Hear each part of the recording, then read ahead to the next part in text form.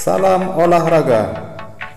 Laga Persija Jakarta versus PSS Semarang bersudahan imbang 2-2. Persija Jakarta tampil impresif dalam lanjutan pekan ketiga BRI Liga 1 Indonesia menghadapi PSS Semarang yang berlangsung di Indomelek Arena.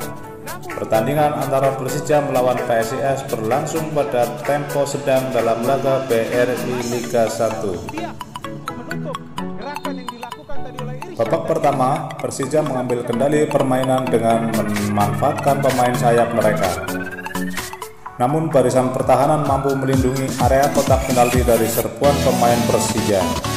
Persija unggul terlebih dahulu melalui hasil tandukan Octavio Putra meluncur deras ke gawang kiper Janja Eka di penghujung babak pertama.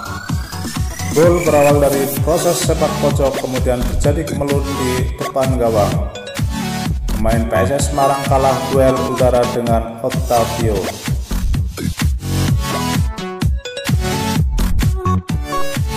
Babak pertama pun berakhir dengan keunggulan sementara Persija 1-0 atas PSS Semarang. Lagi-lagi babak kedua kembali jadi milik kubu Persija. Tim berjuluk Macan Kemayoran itu unggul lewat gol Marco Simic di menit ke-49. Dengan akhir babak kedua, suasana di Stadion Indomilik Arena berubah gratis seiring hujan deras mengguyur Tangerang.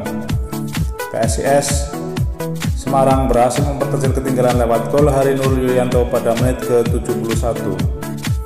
Tanpa ragu penyerang PSS Semarang tersebut memanfaatkan bola rebound yang tidak mampu dihalau sempurna oleh kiper Andre Tani.